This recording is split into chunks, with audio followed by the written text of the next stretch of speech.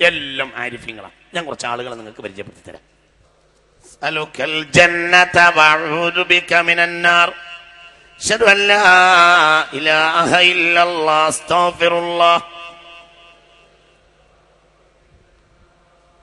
اللهم ارحمني يا أرحم الراحمين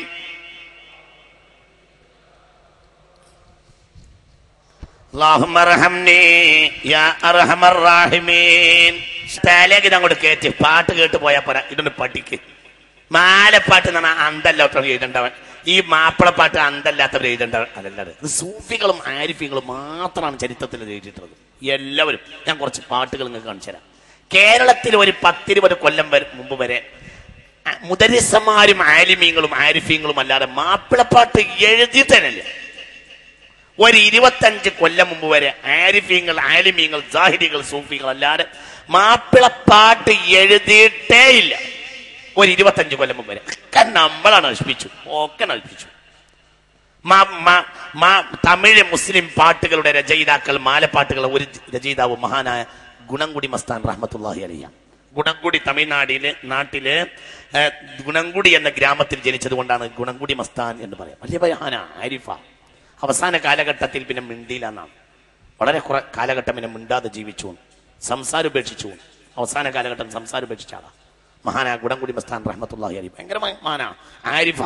വലിയ മഹാന. ബഹുമാനപ്പെട്ടവരാണ് പൊന്നരിയ പൊന്നരിയൈ മാലൈ.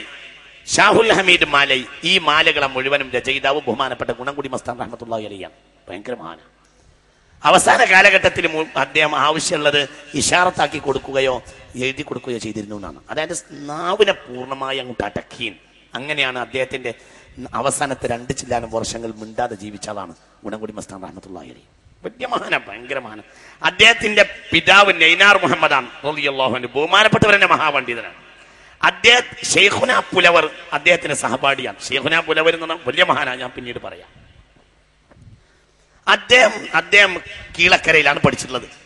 ഏതാ കീളക്കര അതായത് ഇന്ന് നമ്മൾ ഏർവാടിയിലേക്ക് പോകുമ്പോൾ കാണുന്ന ആ കിളക്കര ആ കിളക്കരയിലാണ് ബഹുമാനപ്പെട്ടവർ പഠിച്ചിട്ടുള്ളത്. ഒരു കാലത്ത് ഒരു കാലത്ത് കേരളത്തെ ഇന്ത്യയുടെ ബഗ്ദാദാണ് കീളക്കര കായൽപട്ടണം. കീളക്കര കായൽപട്ടണം ഒക്കെ ഇന്ത്യയുടെ ബഗ്ദാദാണ്. അവിടെ നിന്ന് പറിച്ചു നട്ടതാ പൊന്നാനിൻ അതായത് കായൽപട്ടണത്തിൽ നിന്ന് പൊറിച്ച് പൊട്ടിച്ച് കൊണ്ടുവന്ന നട്ടതാണ് എന്ത്? കായൽ പട്ടണത്തിൽ നിന്ന് പൊട്ടിച്ച് കൊണ്ടുവന്ന നട്ടതാണ് ഈ പൊന്നാനി പൊന്നാനിയുടെ ഈ മസില് കായൽ പട്ടണവും കീളക്കരയുമാണ് വലിയ മീക്കായൽ വന്നില്ലേ പൊന്നാനി അഹിൽ മുഹയ്യറാ ميكال مسجده وحوله فقها هم صدقة الله طبا خطابا وعند الافتراق باغا وإذا وقد نال منه صدقة الله സദക്കത്തുല്ലാഹിൽ ഖായിർ അലിയല്ലാവിന്റെ അടുത്തേക്ക് ജനങ്ങൾ വന്ന് പറഞ്ഞു ഇതൊന്നും നിങ്ങളെ തലേ കയറുമെന്ന് പോലും എനിക്കറിയൂല ഏ, ജുമാക്ക് വന്ന ആളുകൾ പറഞ്ഞു മഴ ഇല്ല മഴ വേണം പറഞ്ഞു അപ്പോൾ പറഞ്ഞു ദ്വ- മഴ- മഴക്ക് വേണ്ടി ദ്വാരക്കണം എന്ന് പറഞ്ഞു അപ്പോൾ സദക്കത്തുള്ളാഹിൽ കായൽ പറഞ്ഞു ദ്വായല്ല മീക്കായിലിനോട് പറഞ്ഞാളാ ഞാൻ എന്ന് പറഞ്ഞു അന്ന് മീക്കായിലിനെ വിളിച്ചു എന്നാ മീക്കായിൽ വന്നു അസറിന് മീക്കായിൽ കായൽ പട്ടണത്ത് വന്നു മീക്കായിൽ അലിസ്ലാം വന്ന പള്ളി ആയതുകൊണ്ട് കായൽ പട്ടണത്തെ പൾ- പ്രധാനപ്പെട്ട പള്ളിയുടെ പേര് ഇന്നും മസ്ജിദ് മീക്കായിലാണ് ഇന്നും ഇന്നും സദക്കത്തുല്ലാഹിൽ ഖാഹിരി റളിയല്ലാഹു അൻഹു മീക്കായിലാണ് വിളിച്ചു طابا خطابا وعين عند الافتراق باغا وإذا وقد نال منه صدقة الله ഹിതാബ ഹിതാബൻ മീക്കാഹിൽ അലിസ്ലാം ഇറങ്ങി വന്നിട്ട് അവരുമായി നല്ല സംസാരങ്ങളൊക്കെ നടത്തി.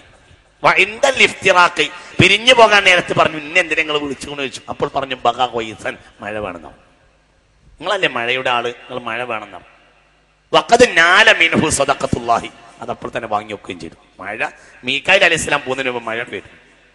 മീക്കായിനെ വിളിച്ചു വരുത്തിയിട്ട് കായൽ പണത്തേക്കും മട്ടണത്തേക്കും മഴ പെയ്യിപ്പിച്ചു. ആര്?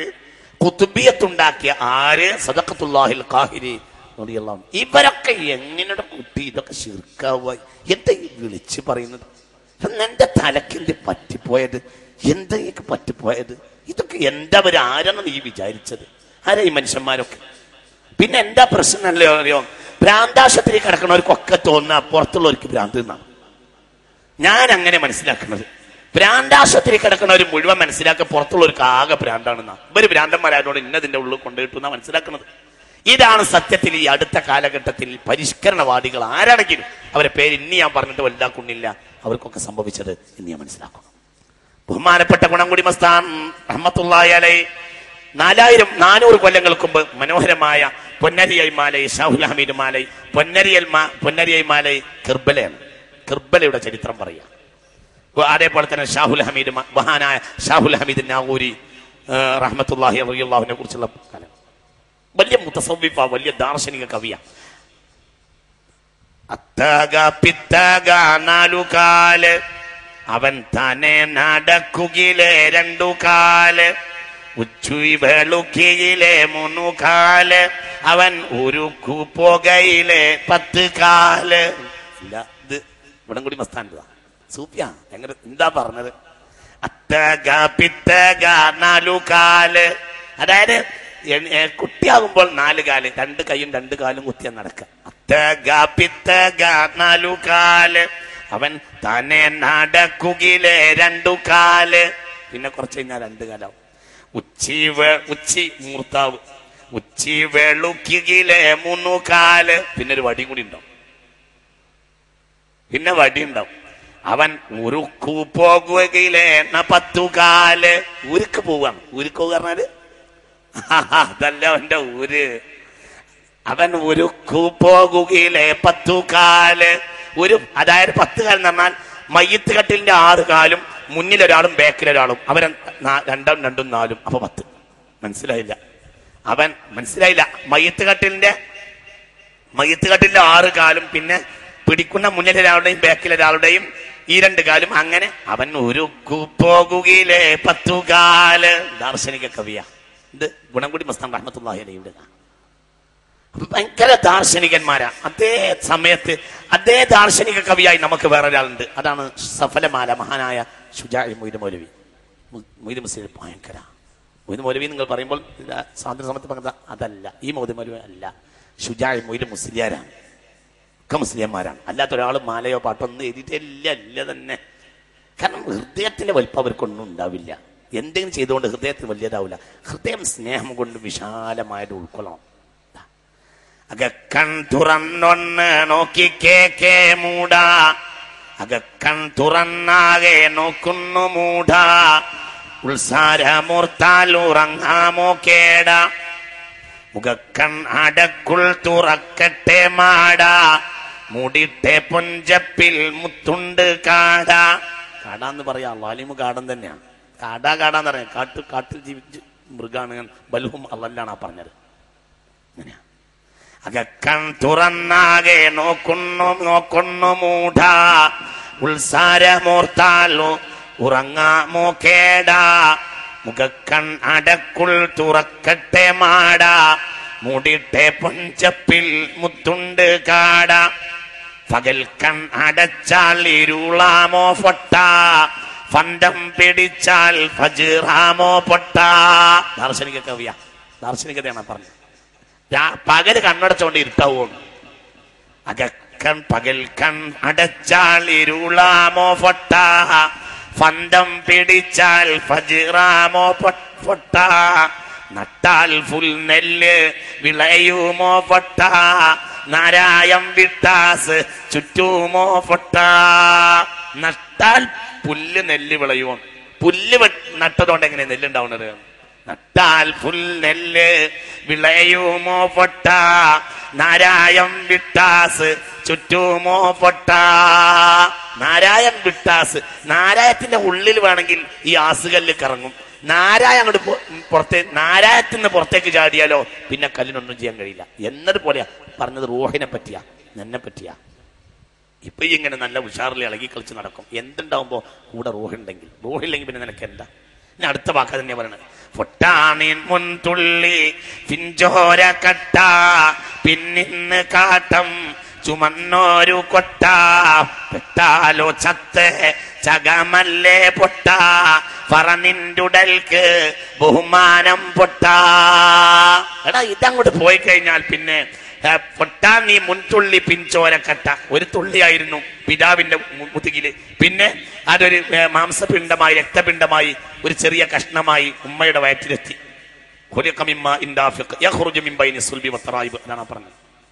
പിന്നെയോ പിന്നെ നീ കാഷ്ടം ചുമന്നൊരു കൊട്ടയാണ്. പിന്നെ നീ ഒരു ഒരു മൊബൈൽ കക്കൂസാണ്. ഇത്രേ ഉള്ളൂ. കാര്യമായി ഇന്ന് എല്ലാവരുടെ കയ്യിലുള്ളത് ഈ കക്കൂസാണ് തോന്നി. പൊട്ടാൽ പെട്ടാലോ ചത്തേ ചകമല്ലേ പൊട്ട പറനിണ്ടുടൽക്ക് ബഹുമാനം പൊട്ടാം. പോയി കഴിഞ്ഞാൽ പിന്നെ എന്താടാ ഉള്ളത്? എന്താ നിന്റെ ഈ തടി? ഈ ഇങ്ങനെ വെളുപ്പിച്ച് കൊണ്ടു നടക്കുന്ന ഈ തടിക്ക് എന്ത് ബഹുമാനമുള്ളത് ഉടുന്നുക്കോട ഇടം വലം രണ്ട്. ഓരോരോ സാഹത്തിൽ മാറ്റങ്ങളുണ്ട്. രണ്ടാളിരുന്ന് ഇങ്ങനെ അതാണ് പറഞ്ഞത്. അതാണ് മയൽ ഫിലുമിന കൗലിൻ ഇതാണ് മാപ്പിളപ്പാട്ട്.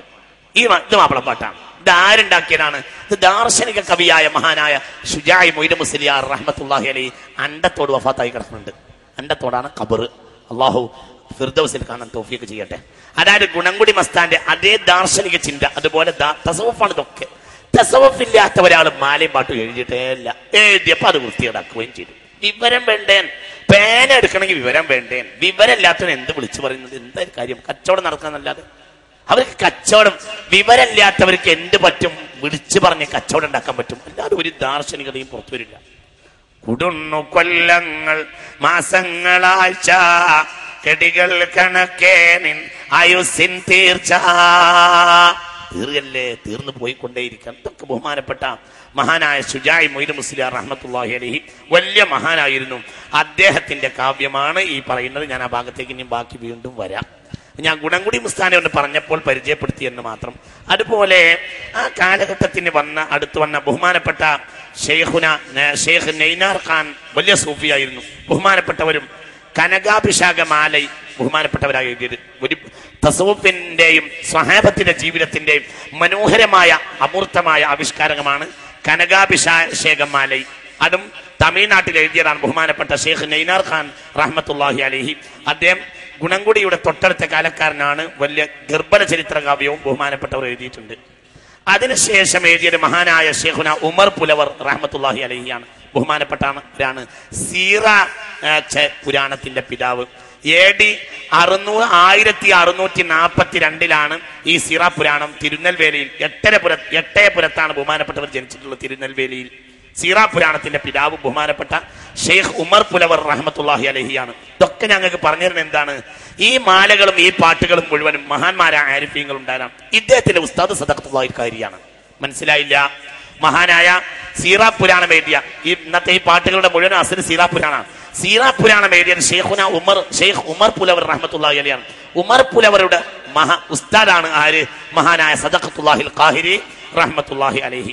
ഉമർ പുലവരുടെ പിതാവ് തന്നെ മഹാനാണ്. അദ്ദേഹത്തിന്റെ പിതാവ് ഷെയ്ഖ് മുഹമ്മദ് അലിയാരാണ്. അദ്ദേഹത്തിന്റെ പിതാവ് യമനിയാണ്. ആ ഷെയ്ഖ് ഫരീദുദ്ദീൻ അത്താർ റഹ്മത്തുല്ലാഹി അലഹിയാണ് അതായത് വല്ലിപ്പ ഷെയ്ഖ് ഫരീദുദ്ദീൻ അത്തർ റഹ്മത്തുള്ള അലി ബാപ്പ ഷെയ്ഖ് മുഹമ്മദ് അലിയ റഹ്മത്തുള്ള അലി അവരുടെ മകനാണ് ഷെയ്ഖ് ഉമർ പുലവർ റഹ്മത്തുല്ലാഹി അലഹി. അദ്ദേഹം ആ എ ഡി ആയിരത്തി അറുന്നൂറ്റി നാൽപ്പത്തി രണ്ടിൽ തിരുനെൽവേലിയിൽ എട്ടേപുരത്ത് ജനിച്ചു. അദ്ദേഹമാണ് സീറ പുരാണത്തിന്റെ പിതാവ് തമിഴ്നാട്ടിൽ ശ്രദ്ധിക്കുക. ഞാൻ ചില ആളുകൾ എങ്ങനെ പരിചയപ്പെടുത്തിയ അതേപോലെ തന്നെയാണ് ജക്കും പടപ്പാട്ട്. ജക്കും പടപ്പാട്ട് നമ്മുടെ നാടുകളിലൊക്കെ ഉണ്ട്. ഇവിടെ കണ്ട അതിന്റെ ഇഷ്ടം പോലെ ഉണ്ട്. ഞാൻ മുഴുവനും കൂടി വായിക്കാൻ ഇതൊക്കെ പടപ്പാട്ടുകളാണ്. ഇത് കുറച്ച് സാമ്പിൾസ് ഞാൻ ഇങ്ങനെ കൊണ്ടുവന്നത്. ഇതൊക്കെ പടപ്പാട്ടുകളാണ്. പിന്നെ പിന്നെ ഹുനൈൻ പടപ്പാട്ട് സക്കും പടപ്പാട്ട്. ഈ സക്കും പടപ്പാട്ട് കേരളത്തിൽ ഇങ്ങനെ ഇഷ്ടം പോലെ കല്യാണ വീടുകളിലൊക്കെ പാടിയതാ. നീ കല്യാണ പാട്ട് എന്ന് പറഞ്ഞതിനെ പറ്റി പറഞ്ഞുതരാം. കല്യാണത്തെ പറ്റി ഒരു പാട്ടും ഇല്ല. അതാ കല്യാണ പാട്ട്. നിങ്ങളോട് തന്നെയാണല്ലോ ഇപ്പൊ പറയുന്നത്. ഇത് തലയെ കൊണ്ട് കേറ്റിത് കുറെ ദിവസങ്ങളായി ഇന്ന് പഠിച്ച ഒരു പഠിപ്പിന്റെ ബാക്കി പറയാം. ഇത് കേരളത്തിൽ നിന്ന് വെളിച്ചം കണ്ടോട്ടെ. അതൊന്ന് മനസ്സിലാക്കി എന്താണ് ഈ പറയുന്നത്? കല്യാണപ്പാട്ട് കല്യാണത്തെ പറ്റിയുള്ള പാട്ടല്ല. കല്യാണപ്പാട്ട് ഹബീബ റസൂലിനെ പറ്റിയുള്ള പാട്ടാ. സല്ലല്ലാഹു അലൈഹി കല്യാണപ്പാട്ടിനെ ഞാനൊന്ന് പരിചയപ്പെടുത്തി തരാം.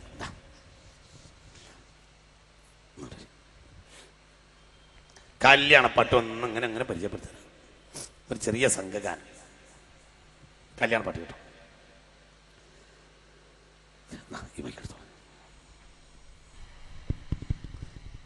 കല്യാണപ്പാട്ട്. ആരാ കല്യാണപ്പാട്ടിന്റെ കേരളത്തിലെ കല്യാണപ്പാട്ടുകൾ പരിഷ്കരിച്ച ഒരു പിതാവ് ആരാന്നറിയോ? ആരാ? ആരാ? ഷേഹുന കെ ടി മാനു മുസ്ലിയാർ റഹ്മത്തുള്ളാഹി അലി ഈ വേദിയിൽ അതിന് പ്രത്യേക പ്രാധാന്യമുണ്ട്. ഈ വിചാരിച്ച അതല്ലടാ കല്യാണപ്പാട്ട്. കരളാണ് ഫാത്തിമല്ല കല്യാണപ്പാട്ട്? കൽബാണ് ഫാത്തിമല്ല കല്യാണപ്പാട്ട്? ഇതാ കല്യാണപ്പാട്ട്. ഈ കല്യാണപ്പാട്ട് കണ്ടോ? ഇത് ഈ കല്യാണപ്പാട്ട് എഴുതിയത് ഈ കല്യാണപ്പാട്ട് എഴുതിയതല്ല കല്യാണപ്പാട്ട് പാടിയത്. അതിനുവേണ്ടി ഒരു ടീം ഉണ്ടായിരുന്നു. എവിടെ വരെ? വാക്കയാത്തിൽ പഠിക്കാൻ പോകുന്നവരെ. പിന്നെ മൊയ്തീനാജി പറഞ്ഞതാണ് ഇനിയെങ്കിലും മനു ആ പാട്ടൊന്ന് നിർത്തുന്നു ഇനി വലിയ ആലിമായി വലിയ ആലിമായി വലിയ ആലിമാകുന്നത് വരെ കല്യാണ വീടുകളിൽ പാടാൻ പോവുക. ആര്? ദർസം ഓതിയിട്ട് ഉസ്താദ് ഇങ്ങനെ കിതാബ് ഓതി കൊടുത്തത്. അങ്ങനെ ഒന്ന് എഴുതിയിട്ട് അങ്ങനെ തന്നെ കൊണ്ടുപോയി വെച്ചിട്ട് നേരെ പാടാൻ വേണ്ടി പോകും. എന്നിട്ട് പിറ്റേന്ന് രാവിലെയും അങ്ങനെ തന്നെ. എന്നിട്ടും ആ ദർസിലെ ആരെക്കാളും പഠിപ്പ് മാനു മുസ്ലിംക്കായിരുന്നു എന്നാണ് ചരിത്രം. കല്യാണപ്പാട്ടിന് പോകും. കല്യാണപ്പാട്ടോ?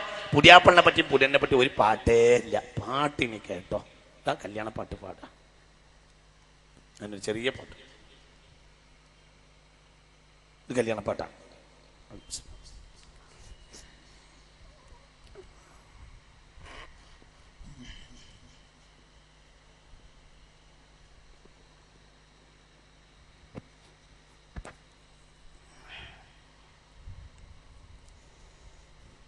തമ്പൂരാനെ തരവേണമെനി പെരിയോനെ. താപം തീർത്ത് ഖൈറുറാഹിമീനെ അമ്പനേയൻ പിഴകൾ പൊറോത്ത് ആർജവാമാർഗമീലെന്നെ ചേർത്ത് ഇമ്പമേ തീടണ് ഗുഫ്രാനവനെ സുബ്ഹാനെ താപം തീർത്ത് ഹൈറു റാഹിമീനെ. തമ്പൂരാനെ തണി തരവേണമെനി പെരിയോനെ. താപം തീർത്ത് ഖൈറുറാഹിമീനെ മൗത്ത് വന്ന് ബലത്താൽ പിടിക്കും. മായാലോകമിടയിട്ടൊഴിക്കും കൃത്യവേളയതിൽ കൃപ ചെയ്യനതിൽ പെരിയോനെ. താപം തീർത്ത് ഖൈറുറാഹിമീനെ തമ്പുരാനെ തനി തരവേണമെനി. പെരിയോനെ താപം തീർത്ത് ഖൈറുറാഹിമീനെ തന്തയും തായുമാരും സഹായ. തന്തിടാതുൽവിത്രാസ സമയ. സന്തോഷമേകുനി സർവസൃഷ്ടാവുനി പെരിയോനെ താപം തീർത്തി ഖൈറുറാഹിമീനെ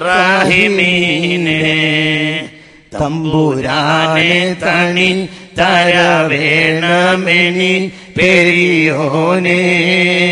താപം തീർത്ത് ഖൈറുറാഹിമീനെ പണ്ടവാരണ്ട്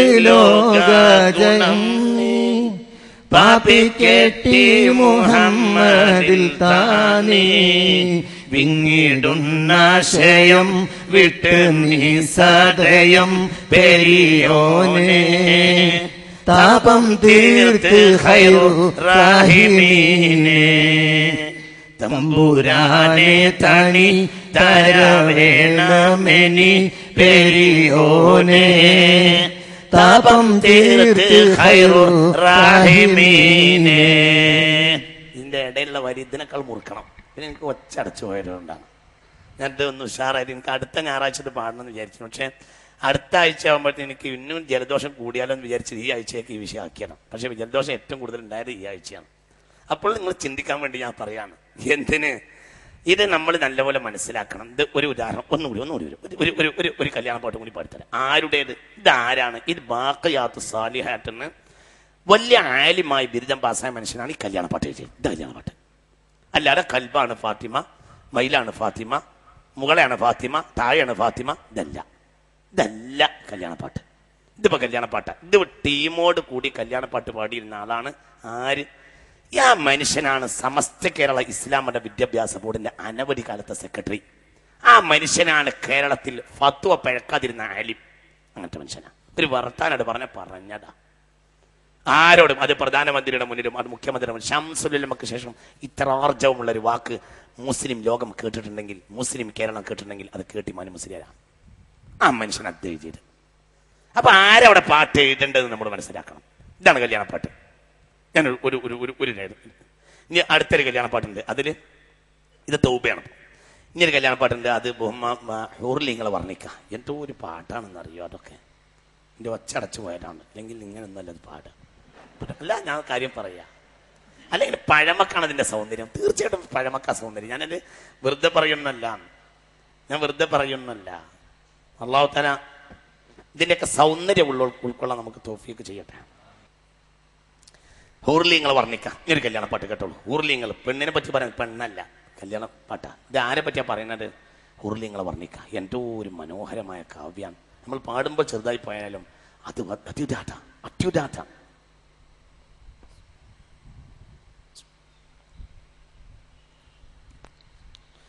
മതിപൂരണനും രവിയ മതിലൊളിയാം മതേറിടും ബിയാൾ മഹാരാജ സുന്ദരിയാൾ. മതിപൂരണനും രവിയ മതിലൊളിയാം മതേറിടും ബിയാൾ മഹാരാജ വദനം തുയ കവിളുമേ നേത്രങ്ങൾ. വടിവേറിടും ശിരമുടി വർണങ്ങൾ സദൃത്തെ വിശാലതയുമേ സുഖാരമണിയാ മഹാരാജ സുന്ദരിയ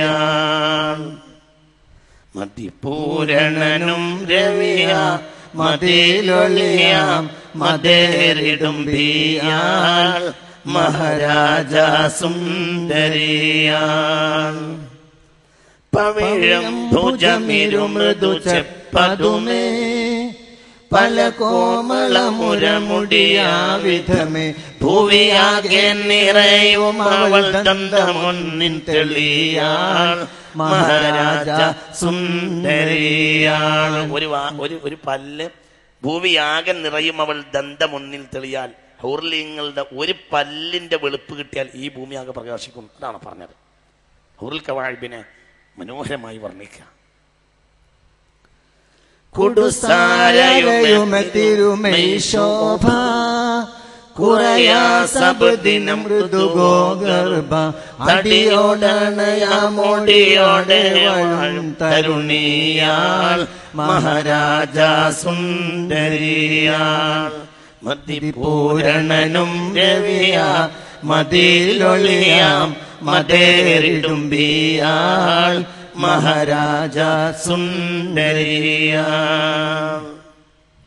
പരിപാലകനിവള സുരാലയ പരിദോഷരിണ കൊടുക്കും സ്ത്രീയാൾ. കരുണാവാരിധെ കേട്ടി എന്നിലും നൽകൻ കൊതിയാൾ. മഹാരാജ സുന്ദരിയാൾ. ഒരു ഒരു ആ കൂട്ടത്തിൽ ഒന്നിനെ പഠിച്ചോണെ എനിക്കും തരട്ടെ എന്ന് പ്രാർത്ഥിക്കാം. പരിപാലകൻ ഇവളെ സുരാലയ പരിദോഷലിന കൊടുക്കും സ്ത്രീയാൾ. കരുണാവാരിധെ കേട്ടി എന്നിലും നൽകൻ കൊടിയാൾ അള്ളാഹു തല തോഫിക്ക് ചെയ്യട്ടെ. അള്ളാഹു തല ബഹുമാനപ്പെട്ടവരുടെ ഖബറിൽ തന്നെ അള്ളാഹു താല ബഹുമാനപ്പെട്ടവരുടെ ഖബറിൽ തന്നെ ആ ഹുറുൽ കവാഹിബിന്റെ സാന്നിധ്യം കൊടുക്കട്ടെ.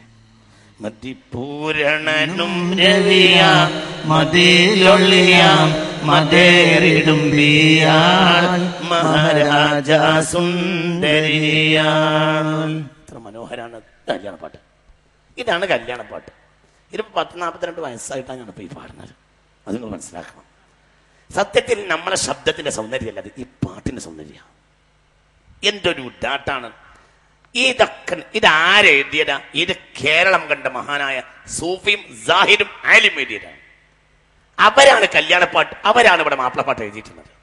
അപ്പോൾ അതിന് അതിന്റെതായ വൃത്തങ്ങളും പ്രാസങ്ങളും വിധങ്ങളും സൗന്ദര്യങ്ങളും തസവപ്പും സുഹുഡും ദീനും എല്ലാം ഉണ്ടായി അവിടുന്ന് അങ്ങോട്ട് പോയിട്ട് പോയപ്പോൾ ഒക്കെ നാശായി. ആര് നാശാക്കി? ആ ഭാഗത്തേക്ക് ഞാൻ വരാ. ഇങ്ങനെ ഇങ്ങനെ നമ്മൾ എടുത്ത് പരിശോധിച്ച് നോക്കുകയാണെങ്കിൽ അതേപോലെ തന്നെ അതേപോലെ തന്നെ ഫതഹുഷാം പടപ്പാട്ട് ഈ കൂട്ടത്തിലുണ്ട് ഫതഹുഷാം പടപ്പാട്ട്. ഈ ഫതഹുഷാം പടപ്പാട്ടിന്റെയും അത്താസിൽ ഫതുഷാം ഫതുഷാം പടൈപ്പോർ പടൈപ്പോർ. ഇത് ഷെയ്ഖുന പുലവരുടേതാണ്. ഷെയ്ഖുന പുലവരുടെ അസിൽ നാമം അൽ ആരിഫ് അബ്ദുൽ ഖാദർ നൈനാൻ ലബൈ എന്നാണ്. വലിയ ആരിഫാണ് വലിയ മഹാനാണ്. അദ്ദേഹത്തിന് അദ്ദേഹം അറുന്നൂറ്റി ആറായിരത്തി എഴുന്നൂറ്റി എൺപത്തി ആറ് പദ്യങ്ങളായിട്ടാണ് ഫത്തുഷാം പടൈപ്പോർ എഴുതിയത്. അതിന്റെതാണ് ചേറ്റുവായി പരീക്കുട്ടി സാഹിബിന്റെ ബഹുമാനപ്പെട്ട ഒരു വലിയ ആലിമാണ്. ബഹുമാനപ്പെട്ടവരാണ് ഫത്തഹുഷ നീ ഞാൻ പറഞ്ഞുതരാം. പടപ്പാട്ടുകൾ മുഴുവനും കേരളത്തിൽ എഴുതിയത് ബഹുമാനപ്പെട്ട ഉമറുൽ വാഖദി റളിയല്ലാഹു അൻഹുവിന്റെ കിതാബുൽ മഹാസി എന്ന് എടുത്തിട്ടാണ്. അതാണ് പടപ്പാട്ട്. പടപ്പാട്ടിന്റെ മുഴുവൻ അസർ കിതാബുൽ മഹാസിയാണ് കിതാബുൽ മഹാസി എന്നത് ഹബീബായ റസൂല്ലാഹി സ്വല്ലല്ലാഹു അലൈഹി വസല്ലമയുടെ യുദ്ധ ചരിത്രങ്ങളാണ് അത് ഇതെങ്ങനെ ഒരു സാധാരണക്കാരൻ എഴുതുക? കിതാബുൽ മഹാസിയിൽ നിന്ന് ഉമറുൽ വാഖദി റളിയല്ലാഹു അൻഹുവിന്റെ കിതാബുൽ മഹാസിയിൽ നിന്നാണ് സത്യത്തിൽ ഈ പടപ്പാട്ട് വരുന്നത്. ആ എല്ലാ പടപ്പാട്ടും ഫുത്താം ഫതഹ് ഹുനൈം പട പട പടപ്പാട്ട് അതേപോലെ തന്നെ ഉഹുദ് പടപ്പാട്ട് ഇങ്ങനെ പടപ്പാട്ടുകളുടെ ഒരു കാലഘട്ടം ഉണ്ടായിട്ടുണ്ട്. അത് മുഴുവനും ബഹുമാനപ്പെട്ട ആരിഫീങ്ങളും ആലിമീങ്ങളും അല്ലാതെ അതൊന്നും എഴുതിയിട്ടേ ഇല്ല. മുഹമ്മദിയ സിദ്ദീഖിയ ഫറൂഖിയ എന്ന മൂന്ന് കണ്ടങ്ങളിലായി അറുപത്തൊന്ന് പടലങ്ങളിലായി ആറായിരത്തി എഴുന്നൂറ്റി എൺപത്തി ആറ് പദ്യങ്ങളിലായിട്ടാണ് ഫഹത്തുഷാം പടൈപ്പോർ എഴുതിയത്. ആര്? അൽ ആരിഫ് അബ്ദുൽ ഖാദർ നൈനാൻ റഹ്മത്തുല്ലാഹി അലൈഹി. അവരൊക്കെ വലിയ മഹാന്മാരായിരുന്നു. തൊട്ടടുത്ത കാലഘട്ടക്കാരനാണ് ബഹുമാനപ്പെട്ട ഉമർ വലിയുല്ലാഹി റഹ്മത്തുല്ലാഹി അലഹി. ബഹുമാനപ്പെട്ടവർ അനവധി മാലകൾ എഴുതിയിട്ടുണ്ട് തമിഴ്നാട്ടിൽ. ഒക്കെ പിന്നീട് മറ്റു രൂപത്തിൽ കേരളത്തിൽ വന്നിട്ടുണ്ട്. അതായത് ഈ സാഹിത്യകാരന്മാരും? ഇവരെ അതിനെ ആസ്വദിച്ചു ഞാൻ പറഞ്ഞില്ല. അത് എത്രത്തോളം എന്ന് പറഞ്ഞാൽ ബഹുമാനപ്പെട്ട മോയിൻകുട്ടി വൈദ്യർ വരെ. മോയിൻകുട്ടി വൈദ്യരുടെ പാട്ടിന്റെ ബദറുൽ മുനിൽ ഹുസൽ ജമാൽ. അതിന്റെ ബേസ് പേർഷ്യൻ കഥയാണ്. അത് അക്കാലത്ത് ഒരു ഉത്തരേന്ത്യക്കാരനായ ഒരു മഹാൻ ഇവിടെ കൊണ്ടോട്ടി പള്ളിയിൽ ദർസ് നടത്തിയിരുന്നു. അദ്ദേഹത്തിന്റെ ദർസിൽ പോയി പഠിച്ചതാ. ഒരു കാൽപ്പനിക ഒരു ഒരു കഥ. ഒരു പേർഷ്യൻ കാൽപ്പനിക കഥ. അത് വെച്ചിട്ട് എഴുതിയതാണ് ബദറുൽ മുനിൽ ഹുസൈൻ ജമാൽ. അതിൽ ഒരു പ്രേമകാവ്യം. എങ്കിലും അതിന്റെ അതിന്റെതായ ചില മനോഹാരിതകളുണ്ട്. വളരെ മനോഹരമായ ശൈലിയാണ് അതിന്റെ അതിൽ നിന്നാണ് പിന്നീട് അതിനുശേഷമാണ് ബഹുമാനപ്പെട്ടവർ പിന്നെ ബദർ കിസപ്പാട്ട് എഴുതിയിട്ട്. ഈ ഉമർ വലിയുള്ളാഹി ഹിജറ ആയിരത്തി ഒരു- ഒരുന്നൂറ്റി അറുപത്തി രണ്ടിലാണ് നമ്മുടെയും പത്ത് മുന്നൂറ് കൊല്ലങ്ങൾക്ക് മുമ്പാണ്. സിദ്ദീഖ് റലി അള്ളാഹുവിന്റെ പരമ്പരയിൽ വന്ന ആളാണ്. ഉമർ വലിയുള്ളാഹി റലി അള്ളാഹുനും അദ്ദേഹം പഠിച്ചത് മക്കയിലും മദീനയിലും മതവിദ്യാഭ്യാസം കരസ്ഥമാക്കി. ഷെയ്ഖ് ഉമർ വലിയുള്ളാഹി റഹമത്തുള്ളാഹി അലി ബഹുമാനപ്പെട്ടവരാണ് തമിഴിലെ അനവധി മാലകളും അനവധി കീർത്തനങ്ങളും ഈ മഹാൻ എഴുതിയതാണ്. കൊച്ചിയിൽ സയ്യിദ് ബുഖാർ റഹ്മത്തുള്ളാഹി അലഹിയുടെ ത്വരീക്കത്തിൽ അംഗമായിരുന്നു. സൂഫികളും ത്വരീക്കത്ത് നേടിയവരുമല്ലാതെ ഈ പാട്ടുകളോ മറ്റോ കൈകാര്യം ചെയ്തിട്ടേ ഇല്ല. ഇന്ന് ത്വരീക്കത്തും തസവുഫും ഒന്നും വേണോന്ന് പണ്ഡിതന്മാർ പോലും ചിന്തിക്കുന്ന ഒരു കാലത്താണ് നമ്മൾ പറ്റിപ്പോയിട്ടുണ്ട് അത് വേണോന്ന് വിവരം പഠിച്ചു എന്ന് കരുതുന്ന പണ്ഡിതന്മാർ വരെ എന്തുകൊണ്ട് അതൊരു കള്ളനാണയല്ലേ? കള്ളനാണയം എന്തുകൊണ്ടുണ്ടാകുന്നത് ഇവിടെ നേരത്തെ രാജശേഖരൻ പോലും വിശദീകരിച്ചു. എന്തുകൊണ്ടാണ്? നല്ല സാധനത്തെ അവിടെ പ്രതിഷ്ഠിക്കാൻ കഴിയാതെ വരുമ്പോൾ കള്ള നാണയങ്ങൾ വിലസ സത്യത്തിൽ നല്ല നാണയങ്ങളെ കൊടുക്കാൻ ആ ഭാഗത്തേക്ക് പണ്ഡിതന്മാർ പോലും തിരിയണില്ല തസവുഫ് സുഹൃദ് തൊരീക്കത്ത് ആ ഭാഗങ്ങളിലേക്ക് കൊണ്ട് ഇറങ്ങണമെന്ന് വിവരം പഠിച്ചവർക്ക് പോലും താല്പര്യമല്ല. ഇതൊക്കെ ആരിഫീങ്ങളും സാഹിര്യങ്ങളും ആയ ആണ് അതേപോലെ തന്നെ മെഹറാജ് മാല. മെഹറാജ് മാല എഴുതിയത് അൽ ആരിഫ് ആലിപ്പുലവരാണ്. മെഹറാജ് മാല എഴുതിയത്. മെഹറാജ് മാല എഴുതിയപ്പോൾ മുസ്തഫ നബി സ്വപ്നം കണ്ടു എന്നാണ് ചരിത്രം. ഹബീബാ അതൊക്കെ ഭയങ്കര പാഠങ്ങളല്ലേ? ഭയങ്കര ചരിത്ര. മെഹറാജ് മാല എഴുതിയ റസൂള്ള അദ്ദേഹത്തെ പ്രശംസിച്ചുകൊണ്ട് സ്വപ്നത്തിൽ വന്ന് പറഞ്ഞു എന്നാണ്. മെഹറാജ് മാല എഴുതിയ ആരാണ്? അല്ല ആരിഫ് ഷെയ്ഖന ആലിപ്പുലവർ റഹ്മത്തുള്ളാഹി അലഹിയാണ് അത് എഴുതിയിട്ടുള്ളത്. അപ്പൊ ചുരുക്കത്തിൽ ഞാനിവിടെ ഈ കാര്യങ്ങളൊക്കെ സൂചിപ്പിച്ചത് ഇങ്ങനെയുള്ള ഒരു അടിസ്ഥാനം ഇതിന്റെ മുന്നിലുണ്ടായിരുന്നു എന്നാണ്. അതിൽ നിന്നാണ് പിന്നെ സത്യത്തിൽ മാപ്പിള മാലപ്പാട്ടുകളും കിസ്സപ്പാട്ടുകളും പടപ്പാട്ടുകളും ഒക്കെ ഉണ്ടായിട്ടുള്ളത്. ഈ വിഷയത്തിൽ ഇനി മാപ്പിള പാട്ടുകളിലേക്കും അതിന്റെ മതഹ കീർത്തനങ്ങളിലേക്കും ഒന്ന് പടപ്പാട്ട് മതഹ കീർത്തനങ്ങൾ കിസ്സപ്പാട്ട് പിന്നെ ദാർശനിക ഗാനങ്ങൾ പിന്നെ മർഹിയത്തുകൾ ഇതൊക്കെയാണ് ഈ വിഷയത്തിൽ വന്നിട്ടുള്ളത്. മൊത്തം എടുത്ത് പരിശോധിച്ചാൽ മുഴുവനും ഈ അടുത്ത കാലത്ത് വരെ. മഹാശയ പൊന്നിലാവ് സയ്യദ് പി എം എസ് മൃതിയായി. മർഹിയത്ത് ഗാന. ഈ മർഹിയത്ത് ഗാന ഇങ്ങനത്തെ ഒരുപാട് മർഹിയത്ത് ഗാനങ്ങൾ ഉണ്ടായിരുന്നു മഹാന്മാരാണ് മരിക്കുമ്പോഴത്തിന് മർസിയത്തുകൾ ബഹുമാനപ്പെട്ട സയ്യിദ് റഹ്മാൻ ബാഫക്ക് തങ്ങൾ. അദ്ദേഹത്തെ കുറിച്ച് ഒരുപാട് മനോഹരമായ ഇനി കാണില്ല നാമാ പൊന്മുഖം എന്നും പുഞ്ചേരി തൂകുന്ന മുഖം എന്ന് തുടങ്ങുന്ന ഒരു പാട്ടുണ്ടായിരുന്നു. ഞാൻ ഓർമ്മയെന്ന് എടുത്ത് പറയാൻ നമുക്ക് മറന്നുപോയിട്ടുണ്ട്. ഏതായാലും ഇങ്ങനെയുള്ള മനോഹരമായ മർസിയത്ത് കാവ്യങ്ങൾ ഇതൊക്കെയാണ് സത്യത്തിൽ മാപ്പിളപ്പാട്ടുകളിലിന്റെ അസിൽ ഇത് മുഴുവനും. ഈ ആരിഫ്യങ്ങൾ മാത്രമാണ് ഇതെല്ലാം കൈകാര്യം ചെയ്തിട്ടുള്ളത്. ഇതിനു വേണ്ടി മലയാളത്തിൽ ഒരു വലിയ പ്രത്യേകത കൂടി ഉണ്ടായി. ശ്രദ്ധിക്കുക. മലയാളത്തിൽ തമിഴിനേക്കാൾ സമൃദ്ധമായി മലയാളത്തിലെ ആരിഫ്യങ്ങൾ സ്വയം ഒരു ഭാഷയുണ്ടാക്കി. ആ ഭാഷയാണ് അറബി മലയാളം. അറബി മലയാളം നിസാരമായ ഒരു ഭാഷയാണെന്ന് വിചാരിക്കേണ്ട.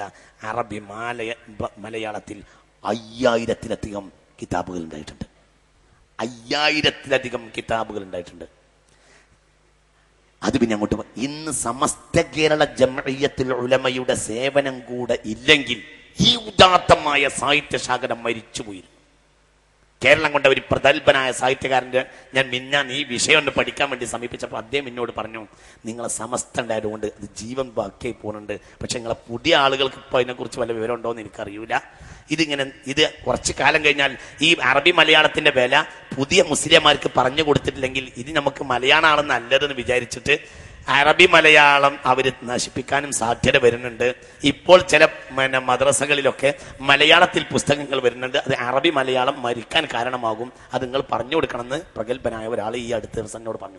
അയ്യായിരത്തിലധികം കിതാബുകളുണ്ട്. എന്തിൽ? എന്തിൽ എന്തിൽ? അറബി അറബി മലയാളത്തിൽ. അയ്യായിരത്തിലധികം കിതാബുകൾ. അറബിയിലുമില്ലാത്ത മലയാളത്തിലുമില്ലാത്ത നാലായിരം പദങ്ങളുണ്ട് അറബി മലയാളത്തിൽ. അറബി മലയാളം ഡിക്ഷണറി ഉണ്ട്. അറബി ഡിക്ഷണറി അല്ല മലയാള ഡിക്ഷണറി അല്ല. അറബി മലയാളം ഡിക്ഷണറി ഉണ്ട്.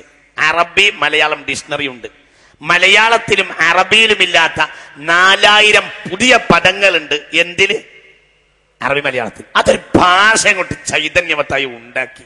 അതിനെയും നശിപ്പിച്ചവർ ഇവിടെ വന്ന നൂതനവാദികളാണ്. പറയാതിരിക്കാൻ നിർവാഹമില്ല.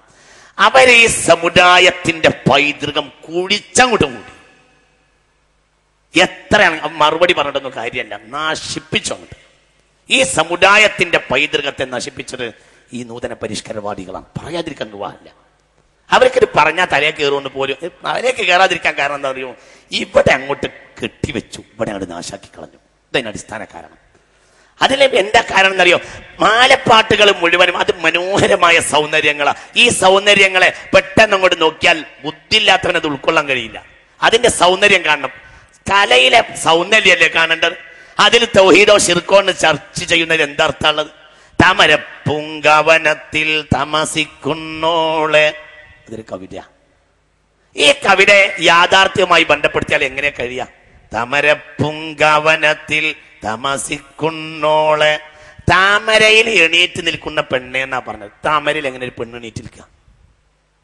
യാഥാർത്ഥ്യം ഇതിനിപ്പോ നമ്മളാണ് നിരൂപിച്ചാൽ ഇത് ഇത് ആർക്കും തെളിയിക്കാൻ കഴിയുകയില്ല. ഞാൻ വെല്ലുവിളിക്കുന്നു എന്ന് പറയാലോ അങ്ങനെ പറയാലോ ഇതിപ്പോ പറയാലോ ഇത് ആരുടെ കവിതയാ?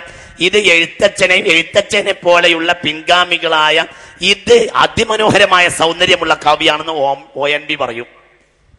നമ്മുടെ ഒ എൻ ബി എ സുഗതകുമാരിയെ സമീപിച്ചാൽ അവർ പറയും അതിമനോഹരമായ സാഹിത്യ കാവ്യമാണിത് എന്ന് പറയും. എന്നാൽ ഇതിനെ പറ്റി ഒരാൾക്ക് വിമർശിക്കാം. താമരപ്പുഴയിൽ പെണ്ണ് എണീറ്റ് നിൽക്കുകയോ? ഇതൊരിക്കലും സാധ്യമല്ല. ഇത് തെളിയിക്കാൻ ആർക്കും കഴിയില്ല. ഞാൻ വെല്ലുവിളിക്കുന്നു എന്ന് പറയാവുന്നതാണ്. ആ വെല്ലുവിളിക്ക് ഭ്രാന്ത് എന്നല്ലാതെ എന്തായാലും അതിനുള്ളത് അത് കലയുടെ സൗന്ദര്യമാണ്.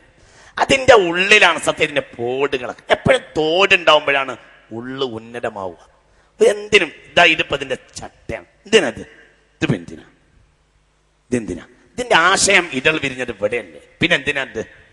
സത്യത്തിൽ അതിന്റെ സൗന്ദര്യാത്മകമായ പുറംതോട് കൊണ്ടാണ് ആ ആശയത്തെ മനോഹരമായി നിലനിർത്തുന്നത്. സത്യത്തിൽ വെള്ളക്കുരു മഞ്ഞ മഞ്ഞക്കരു വെള്ളക്കരു. ഈ രണ്ട് സാധനമല്ലേ കുടിക്കേണ്ടത് കഴിക്കേണ്ടത്? പിന്നെ എന്തിനാ ഒരു തോട്? ആ തോടാണ് അതിനെ മനോഹരമാക്കിയത്. സത്യത്തിൽ ആ മുട്ട കൊണ്ട് പൊട്ടിച്ചാൽ മുട്ട വാങ്ങിപ്പ കഴിക്കണം എന്ന് വിചാരിച്ച നിങ്ങളും അതിന്റെ ആ രൂപം കണ്ടാൽ അർച്ചു. നേരെ മറിച്ച് കലാചാതുര്യതോട് കൂടെ കൂടെ നിൽക്കുന്ന മുട്ട കണ്ടാലോ? ഇപ്പൊ കൊണ്ടുപോയിട്ട് നമ്മൾ ഇപ്പൊ കുത്തിയിട്ട് ഉഷാറായിട്ട് ഇപ്പൊ ഓംലേറ്റ് അടിക്കും. എന്നിട്ട് തോന്നും. അപ്പൊ ഓംലേറ്റ് അടിക്കാനുള്ള താല്പര്യം ഉണ്ടാക്കിയത് എന്താണ്? നീ കഴിക്കാത്ത സാധന. ഇതെന്തിനാണ് ഇങ്ങനത്തെ ഒരു കോഴിമുട്ടയുടെ തോട് ഇത് ആവശ്യമില്ലാത്തതാണ് എന്ന് പറഞ്ഞിട്ട് റബ്ബന മാഹലക്കത്തഹാദാബാത്തില ഹാദാ ബാത്തില. ഒന്നും പറച്ചും വെറുതെ പറിച്ചിട്ടില്ല എന്തിന്റെ പേരിൽ സൗന്ദര്യം ഉണ്ടോ അപ്പൊ സത്യത്തിനെ ഉൾക്കൊള്ളണമെങ്കിൽ എന്ത് വേണം? വിശാലമായ ഹൃദയം. നല്ല മനസ്സ് വേണം. നല്ല ചിന്ത വേണം. അവൻ നല്ല ഒരു ഒരു ഒരു ഒരു ഒരു അല്ലെങ്കിൽ അതുള്ള ആളുകളെ അനുധാവനം ചെയ്യുകയെങ്കിലും വേണം.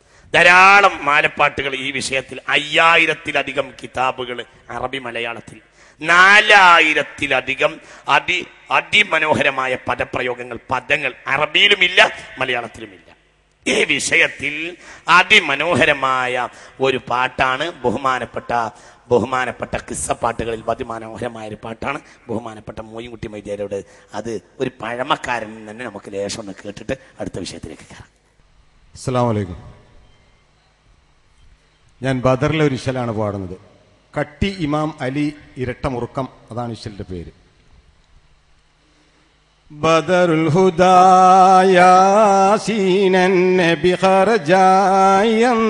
നേരം വളർകൊടി മൂണ്ടെണ്ണം കേട്ടിടയതിലുണ്ട്. അബിയൽ വർണമതാം പിൻരണ്ടും അസുവതുമാമേ. സദത കുടൈക്കോൾ പൊങ്കും തിരുകരമാലൊണ്ടാമ. തതിന തോളർ മിസബിലീന്താർ അവരത് തന്നെ പിടി ചെയ്താറ്റൽ മുമ്പില നിലയാകൈ. ഇതമെവുകാബാം സത്തി പുലിയലിയാർ തങ്ങൾക്കും ഇയതലമാമൂണ്ടാം സാധുബനുമാതിൽ അരശരയിടവലവും നിണ്ടാറങ്കവരിരു പേരും അതതു ദുറൂവുണ്ടൊമ്പത് ഒരു കൗലില്ല രണ്ടും അതിൽ മികും ദാത്തുൽ ഫൂലുൽ അതിനബി പൂണ്ടേ. അവരിലെ അടവസുയൂപേട്ടുണ്ട് തിസരിമാഹും മഹദൊളിബാൽ പേരുന്നും ഇളബദിനാത്വാഹ ചെമ്മലർ കരമിൽ ഏന്തി പിൻ ഫറസുകളഞ്ചുണ്ട്. അതിയിലെ മതതുടയോർ തങ്ങൾക്കാം ഇരുപരിതാമേ സഹബുകളിൽ മൂണ്ടാളിൽ അപുമർത്തതെണ്ടോർക്ക് സബലന പേർ കയ്യിലുണ്ടും പുലിമിതാതിൽ സബ്ഹത്തതും ബർജത്താരണ്ടിൽ ഒരു തുരകം താൻ. ഉഹമെ സുബൈറുല്ലവാമിലയൂബെണ്ടുന്നും ഒരു പുരവീതാനം ഉണ്ടനി സബൂന നടിലുകളുള്ളതവയിൽ ഉണ്ടുന്നാൻ പല പല കൗലാൽ. ഷഹറുകളിൽ പോരിശമികും റമവാനീരാറും ഷറഫുടയേ തങ്ങൾ യൗമിനിലരികോരും ഖറജൊട് ഷഹീലെനും നള്ളിടൈ നബി തിരുതങ്ങൾ ബദർഹുദ ഹുദാ യാസീനൻ നബി ഹറജായം നേരം വളർകൊടി മൂണ്ടെണ്ണം കേട്ടിടയതിലുണ്ട്. അബിയൽ വർണമതാം പിൻ രണ്ടും അസുവതുമാമേ.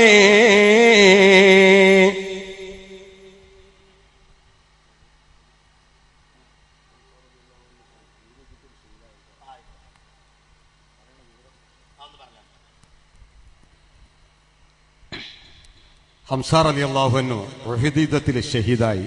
അപ്പോൾ റസൂറുള്ളാക്കുണ്ടായ വേദന ഞാൻ അല്പം വിവരിക്കുകയാണ്. ഇത് രചിച്ചത് ഹയ്യാത്തി എന്ന് പറഞ്ഞ ആളാണ് ഏറിയ ആളായല്ലോ. കോഴിക്കോട്ടുകാരുടെ പാട്ടാണിത്. പാദം തന്താരുൾ ഹംസത്തോലിയുള്ള രോഗം പേദം വന്തിടും തവനീരേ തങ്ങൾ പാരാമല്ലീരപ്പാതിക്കൂതക്കം ചെയ്വാതുക്കെന്നിൽ ആരാകുന്നോലി ഹംസത്തോരേ പാദം തന്താരുൾ ഹംസത്തോലിയുള്ള രോഗം പേദം വന്തിടും തവനീരേ തങ്ങൾ പാരാമല്ലീരപ്പാതിക്കൂതക്കം ചെയ്വാതുക്കെന്നിൽ ആരാകുന്നോലി ഹംസത്തോരേ വേദിയറിനെ വിക്കമ്മത്തവരിലെ എല്ലാ ഗ്രഹിതമേറും. വീരീത പൂലിക്കുട്ടിൻ അടലുടതായം ചൊടിപൊടി പാറും. മർക്കം താറിന്നെ മുന്നാലതി ഭയമേറുന്നേ പാർപ്പില്ലുമറതവാരുന്നേ അപ്പോൾ കഥകില ചേരുന്നേ. തൻവാളൂരിയടുത്ത് പിടിത്തു മൃഗത്താബോറയകത്ത് കടത്തിലിടത്തോരാണത്തം പറഞ്ഞിടും. അസുവതിൽ സൂചാകത്തും കാണിത്തക്കളം വിട്ട് പോടാ ഹൗദിൻ അല്പവും തര വെള്ളം അപഹരിത്തെടുത്തിനി. കെൽപ്പീനിൽ കൂടിക്കുവാൻ പാടാ. നാണീയം പാലരിക്കിൽ ജിന്നുകളിൻസും ചൂളി വിറക്കും. നാമപ്പോർ ഹരി ഹംസ കൊടുകുറമട്ടത്താല വിറക്കും. മാടി മുതിർത്താനെ അസുപതിൽ കൂടിയതിർത്താനെ പടിനച്ചൊപടിലതിർത്താനെ കഠിനക്കോട തമർത്താനെ. ബദറിൽ വെട്ടൊടു തട്ടുകൾ മട്ടിറങ്ങിട്ടിട കട്ടിയിൽ തിട്ടമായി. കട്ടിയിൽ മലമ്പൂലി കലമ്പലിൽ ഉരമ്പതി നെട്ടായുധവും മുറിത്താനേ സ്ഥിതി കണ്ടുടൻ സുഹൃത്തുള്ള അസുപത പകയനെ ചെണ്ടേജിൽ പോരൂതിറത്താനേ മട്ടില്ലാതാടൽ ബുക്കിട്ടരി പൊരി സഞ്ചാരപ്പട വെട്ടി. മഹാരാജ കീരി കീടക്കാളരിലും മരിസപ്പുലി കുട്ടി പലതലമിൽ കേളി. പൊങ്ങിപ്പട ഒഴുതിൽ പാളി. കത്തിച്ചരി പൊരിയാലോളി. കണ്ട് കലീകുലരും ചൂളി. കുഫുരിലെത്തിയെടുത്തു മിതത്തിൽ മികത്തവരത്തിര പീർത്തിര കൊത്തിമുറിത്തും. മത്തീര കൂറൈശിയിൽ വടുവന വാഹശികൺ. അത്തരം മീകുന്തക്കുമാനെ ചൊല്ലി. മാറ്റത്താൽ മീറി മിയാലെറി പറ്റി ഒലിയുള്ള. ഊറ്റത്തിൽ മീകും ഷഹിദാമേ. മുത്തോരെ ജനസ കണ്ടക്രമങ്ങൾ എത്തിരവണ്ണം മുസ്തഫ നബി കണ്ടിട്ടട്ടകാശിത്തുള്ളൊരു കന്നം വെറുപ്പിലഹക്കാനെ കയ്യാതിപ്പയലുക്കാനെ രോഗം പറ്റ ശമിപ്പാനെ തസിലം ചപ്പി വിളിപ്പതിലപ്പളുതൽപ്പമ ചിപ്പമെളുപ്പമിലപ്പുറം ഇപ്പോൾ പാദം തന്താരുൾ ഹംസ തൊലിയുള്ള ഏനൈ രോഗം പേദം വന്തിടുന്തവനീരേ തങ്ങൾ പാരാമല്ലീരപ്പാതിക്കൂതക്കം ചെയ്വാതുക്കെന്നിൽ ആരാകുന്നോലി ഹംസത്തോരേ. പാദം തന്താരുൾ ഹംസത്തോലിയുള്ള ഏനൈ രോഗം പേദം വന്തിടുന്തവനീരേ തങ്ങൾ പാരാമല്ലീരപ്പാതിക്കൂതക്കം ചെയ്വാതുക്കെന്നിൽ ആരാകുന്നോലി ഹംസത്തോരേ ജസീലൻ അദ്ദേഹത്തിന് ദീർഘായുസ് ഇരിക്കും.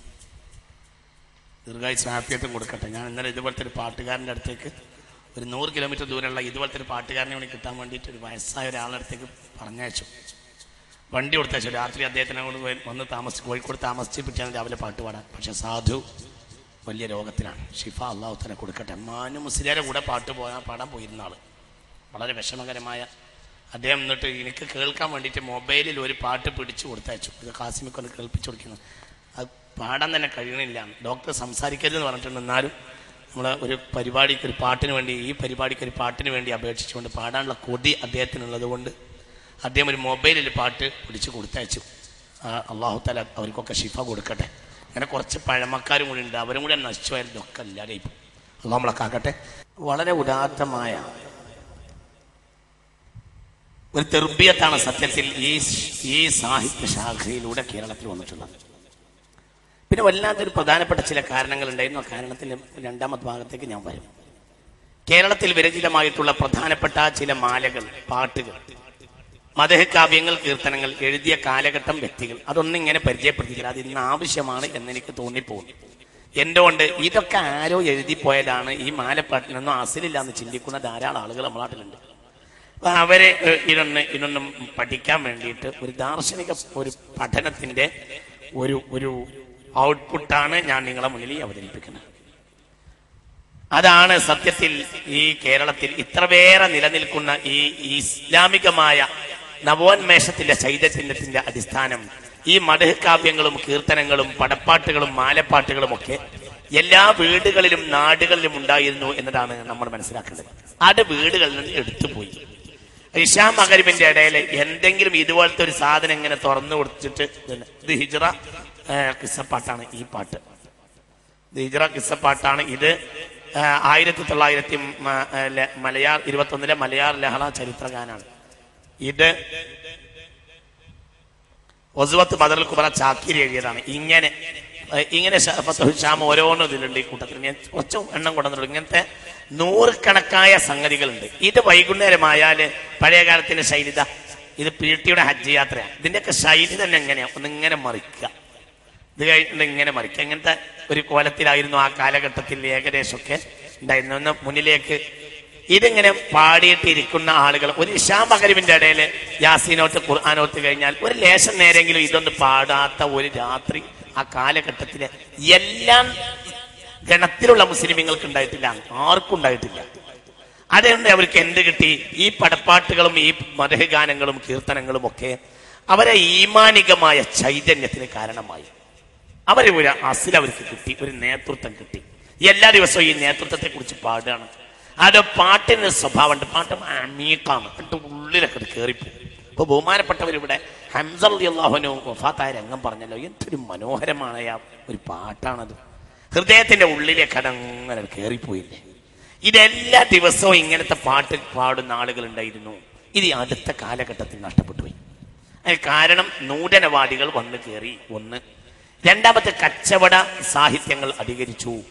പിന്നെ തനിമയും നഷ്ടപ്പെട്ടു പോയി പിന്നെ ദൃശ്യമാധ്യമങ്ങൾ വീടുകളിൽ വന്ന് കയറി അത് പ്രധാനപ്പെട്ട ഒരു കാരണമാണ്. നമ്മളെ വീടുകളിൽ മുഴുവൻ സിനിമയും എല്ലാ വീട്ടിലും സിനിമ സിനിമ കാണണം. സിനിമയുടെ സീരിയൽ അതിന്റെ പിന്നെ ആ സീരിയലിന് വേണ്ടിയിട്ട് നമ്മൾ ഗ്ലിസറിന് അടിച്ചിട്ട് കണ്ണിൽ കരയാൻ വേണ്ടി കാത്തിരിക്കാം. ഇത് നമ്മളെ നാട്ടിൽ അധികരിച്ചു. ഞാൻ ചില കാരണങ്ങൾ പിന്നീട് പറയാം.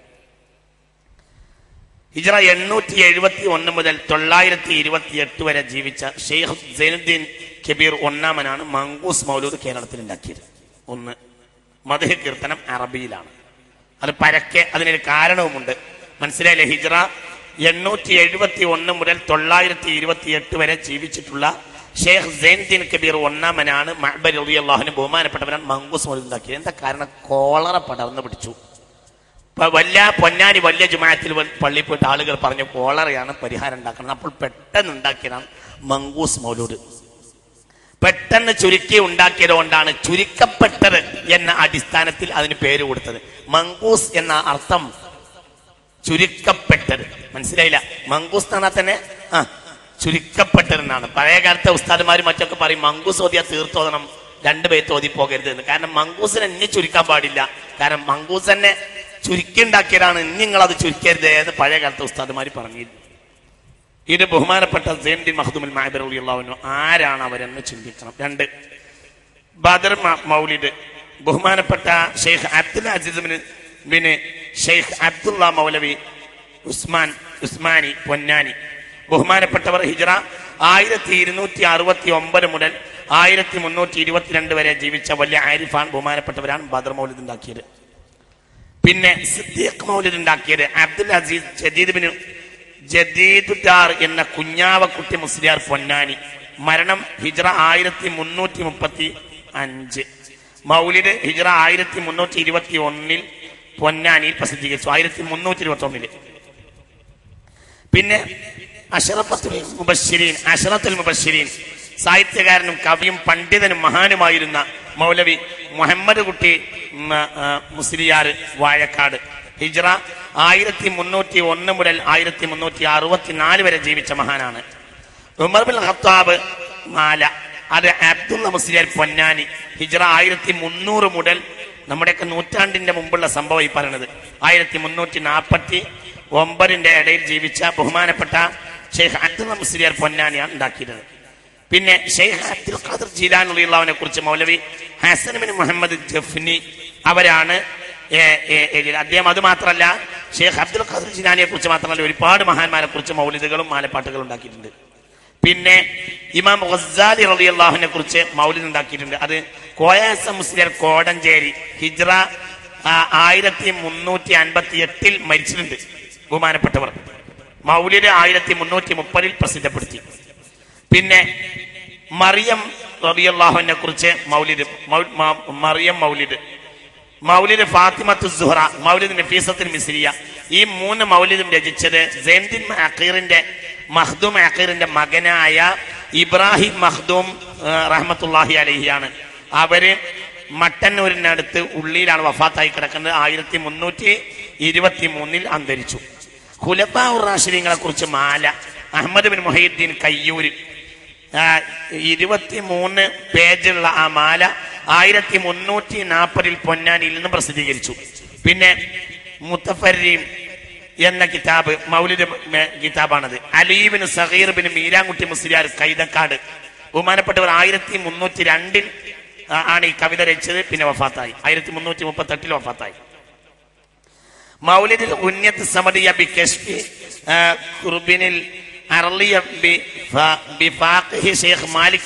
റഷീദി എന്ന കിതാബ്. അത് ബഹുമാനപ്പെട്ട മാലിക് അള്ളാഹു എന്നും അടക്കമുള്ള ആളുകൾ കേരളത്തിൽ വന്ന ദീനി ദേവത്തിനെ കുറിച്ചുള്ള ഒരു മാല മാലയാണ്. ഒരു മൗലിദാണ്. അത് ബഹുമാനപ്പെട്ട കുഞ്ഞി മുസ്ലിയാർ കാസർഗോഡ്. മുപ്പത്തഞ്ച് പേരുള്ള മൗലിദ് ഇജർ ആയിരത്തി മുന്നൂറ്റി നാൽപ്പത്തി ഒന്നിൽ വിരചിതമായി. ബഹുമാനപ്പെട്ട അഹമ്മദ് കുറിച്ച് മൗലിദ് ഹസൻ മുഹമ്മദ് ജഫിനി റഹ്മത്തുല്ലാഹി അലേഹിയാണ് അത് എഴുതിയിട്ടുള്ളത് ബഹുമാന അത് ആയിരത്തി ബഹുമാനപ്പെട്ട വഫാത്ത് ആയിരത്തി മുന്നൂറ്റി മുപ്പത്തി ഒമ്പതിലാണ് ഹംസത്തുൽ കറാഹുവിനെ കുറിച്ച് മൗലിദ് എഴുതിയിട്ടുണ്ട്. അത് അബ്ദുൽ അസീസ് മുസ്ലിയാർ പൊന്നാനി നബർ അള്ളാഹു മർക്കറ ആയിരത്തി മുന്നൂറ്റി ഇരുപത്തി രണ്ട് പിന്നെ ഹസൻ ഹുസൈൻ ഇവരെ കുറിച്ച് മൗലിദ് എഴുതിയിട്ടുണ്ട്. അത് ബഹുമാനപ്പെട്ട ബഹുമാനപ്പെട്ട സയ്യിദ് ബക്കാറുൽ ഇർഫായും എന്ന ആളാണ് എഴുതിയിട്ടുള്ളത്. അവരും വലിയ ആര്യമാണ് ആയിരത്തി മുന്നൂറ്റി ഇരുപത്തിരണ്ടിൽ അത് പ്രസിദ്ധപ്പെടുത്തിയിട്ടുണ്ട്. ഖാലിദ് കുറിച്ച് കാരണകത്തെ അവറാൻകുട്ടി മുസ്ലിയാർ ആയിരത്തി മുന്നൂറ്റി ഇരുപത്തി അഞ്ചിൽ ഒപ്പത്തായി നൂറ്റാണ്ടിന് മുമ്പാണ് അതും സംഭവം. അലീബിൻ അബി താലിബ് റളിയല്ലാഹുവിനെ കുറിച്ച് അബ്ദുള്ള കുട്ടി മുസ്ലിയാർ കോടഞ്ചേരി ആ അലി മൗലിദ് ആയിരത്തി മുന്നൂറ്റി മുപ്പതിലാണ്. ഉസ്മാൻ ബിൻ അഫാൻ മൗലിദ് അഹമ്മദ് മുസ്ലിയാർ പൊന്നാനി ആയിരത്തി മുന്നൂറ്റി അറുപത്തി അഞ്ചിലാണ് ഉഹദ ഷൂഡാക്കളെ കുറിച്ച് മാല ബാബ മുസ്ലിയാർ മഹദും പൊന്നാനി. അത് ഹിജ്റ ആയിരത്തി മുന്നൂറ്റി ഇരുപത്തി ആറിലാണ് പാലക്കാട് ഹുസൈൻ ഹുസൈൻ അലി അള്ളാഹുവിനെ കുറിച്ച് അബ്ദുള്ളക്കുട്ടി മുസ്ലിം കോടഞ്ചേരി അത് ഒരു നൂറ്റാണ്ടുമാണ് ആയിരത്തി മുന്നൂറ്റി ഇരുപത്തിരണ്ടിലാണ്. ഗുരുവേരെ മക്ബാറൻ ഡരികിൽ തീവണ്ടിക്ക് കുത്തി തറച്ചോന്റെ കുതിരയെ കൊന്നോവർ. അതൊക്കെ അതിൽപ്പെട്ട വരികൾ അവമാനപ്പെട്ട കറാമത്തുകൾ പറയുകയാണ്. അതേപോലെ തന്നെ നഫീസത്തിൽ മിസ്രിയ ഞാൻ ഇവിടെ പറഞ്ഞല്ലോ. നഫീസത്തിൽ മിസ്രിയ റുലിയല്ലാഹുവിനെ കുറിച്ചൊക്കെ ഇവിടെ ഞാൻ സൂചിപ്പിച്ചു. അത് ബഹുമാനപ്പെട്ട നഫീസത്തിൽ മിസ്രിയ ആയിരത്തി ഇരുന്നൂറ്റി അറുപത്തി ഒന്നിലാണ് അതായത് നൂറ്റൻപത് കൊല്ലം മുമ്പാണ് ആ ഒരു കാവ്യം വിരചനമാകുന്നത് ബഹുമാനപ്പെട്ട നഫീസത്തിൽ മിസ്രിയ റളിയല്ലാഹുവിനെ കുറിച്ച്. വലിയ മനോഹരമായ ഒരു കാവ്യമാണ്. ചൊല്ലുവാൻ സനത്തിനാല് നൂറും ചാദർ പത്ത് ജബഡനിൽ പക്കായ മക്ക ദിക്കാടിൽ ഊടിട്ട് പുന്നിവർ മൗത്ത് ഹിജിറ രണ്ട് നൂറുമാട്ട് പുരിതാറമലാനിലുള്ളൊരു ജുമാനാളിൽ ചിത്ത് അതൊക്കെ നഫീസത്തുൽ മിസ്രിയ റളിയല്ലാഹുവിനെ കുറിച്ചാണ്. അത് ബഹുമാനപ്പെട്ട ആ മൗലിന് വിരചിതമാകുന്നത് ഒരു ഒന്നര നൂറ്റാണ്ടുകൾക്ക് മുമ്പാണ്. വലിയ മഹാനായ ഒരു വലിയ മഹാനായ ഒരു ആരിഫ് അവരാണ്.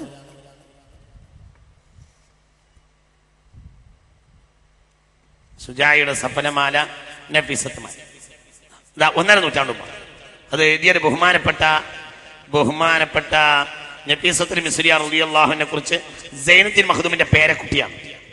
ആയിരത്തി ഇരുന്നൂറ്റി അറുപത്തി ഒന്നിൽ ജൈനുദ്ദീൻ റളിയല്ലാഹുവിന്റെ പേരക്കുട്ടി മഖ്ദൂം ഇബ്രാഹിം കുട്ടി മുസ്ലിയാരാണ് ഈ നഫീസത്തുൽ മുസ്ലിയാനെ കുറിച്ച് എഴുതിയിട്ടുള്ളത്. വലിയ മനോഹരമായ കാവ്യാണ്.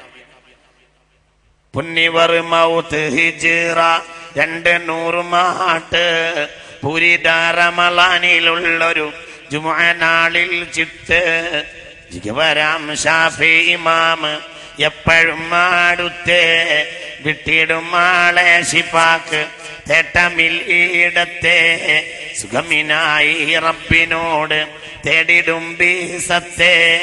സൂക്ഷമിൽ ശിഫ ഉടയോൻ നൽകിടും ചാണത്തെ. എന്ന പോലെ തങ്ങളിലെ മൗത്തിനുൾ ദണ്ണത്തെ യേശിമുനായക്കും പോലെ ബിവിയിൽ ആയത്തെ. അന്നുബി ഗുണത്തിനോടും തേട്ടമിൻ പകരത്തെ അഹടവള്ളി കാനവർക്ക് നൽകിയിടട്ടെന്നുത്തേ ബഹുമാനപ്പെട്ട ഷാഫി മകൾ ഇതെല്ലാ വീടുകളിലും മകരവിന് ശേഷം ചെല്ലിയിരുന്നു. പെണ്ണിന് പിന്നെ പ്രസവവേദന ഇളകിയാൽ ഈ നഫീസത്തിൽ മനസ്സിലായ മാല ചെല്ലും. അത് ഉറപ്പാണ് ചെല്ലിയ പ്രസവിക്കുന്ന കാര്യം ഉറപ്പാണ്. ഇന്നല്ലേ മനുഷ്യന്മാരെ ഈ ആശുപത്രിയൊക്കെ ഉണ്ടായത്? വീണ്ട എന്റെ വല്യമ്മ പതിനാല് പ്രസവിച്ചിട്ടുണ്ട്. പതിനാലും നബീസത്തുമാല ചൊല്ലി പ്രസവിച്ചതാണ്. എന്നിട്ടും ആ കുടുംബത്തിൽ ആരെക്കാളും ആരോഗ്യം ഉണ്ടായിരുന്നു വല്യമ്മക്ക്? ആരുമില്ല. ഒരന്തല്ലാത്തവര് വയറ്റാട്ടി വന്നിട്ട് പ്രസവം എടുക്കും. ഏറ്റെടുക്കാന്ന് പറയും പഴയ കാലത്ത്. എന്തായിരുന്നു അവരൊക്കെ ആരോഗ്യം? പതിനാല് പ്രസവിച്ചു നഫീസത്തുമാരെ ചൊല്ലിയിട്ട്. ആളുകൾ അന്ന് മരിച്ചു. മരിക്കൽ ഇന്നാണ് കൂടിയത്. ഇന്നാണ് വയറിന് കത്തിവെക്കൽ കൂടിയത്. വയറ് കത്തി വെച്ചിട്ട് മരിക്കണം എത്ര ആളുകളാണ് മരിക്കണത്?